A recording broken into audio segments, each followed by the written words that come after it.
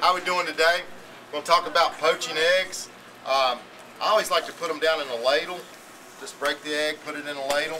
Uh, the water should be uh, simmering, okay? Um, lazy bubbles to the top. If you, you know, if your burners are too hot, you know, if it's working too hard, you don't want to do, just pull it off a little bit. Take it, put it down in the water, release it, okay? Three to five minutes. Um, it, it's sitting there. It's not water's not boiling to the top. It's not bubbling. It's this natural convection in this water. If you put it on to boil, it's too rough. It's too rapid. So simmering, lazy bubbles to the top. After you get done, take and pull it out, drain it, okay? And this is what the finished product should look like. This is a medium poached egg, okay? It's all compact.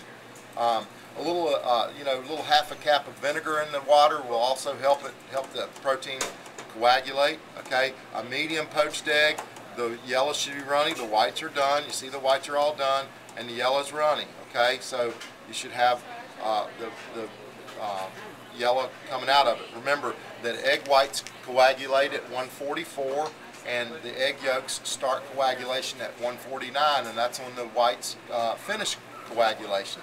So, uh, you know, over medium eggs, over, uh, you know, medium eggs where the whites are done and the yellows are running, so that lets, let you know that the 149 mark there, uh, this hadn't reached that. So, um, this poached egg is a medium poached.